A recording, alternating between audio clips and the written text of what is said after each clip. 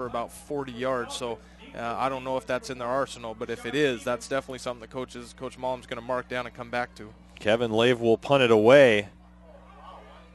And down deep to receive is Deshawn Stephens, who picks up the ball at about his 25.